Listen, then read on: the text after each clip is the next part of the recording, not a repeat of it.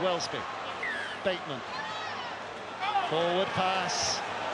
That it was. is huge. Again, they've offered Samoa another excellent position It here. It was a forward pass, Dave. It was a forward pass.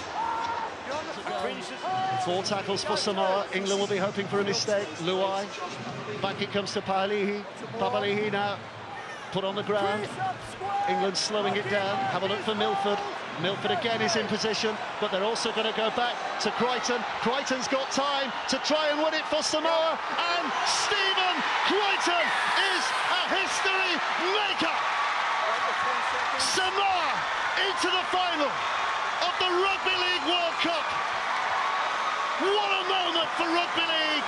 What a moment for that nation! And in amongst it, what a moment for Stephen Crichton! English hearts are broken. It's not going to be a home nation success this year, but Samoa have just written a huge chapter in the history of international rugby league, but they've done it at the expense of England. Yeah, heartbreak for England. The last 20 minutes of that second half, they came to life. They dragged themselves back. They got in the game. They're absolutely gutted, gutted. Oh, they've put it on a plate, but what a kick from Stephen Crichton. Hasn't he stepped up in this match to score the try and then drop the goal?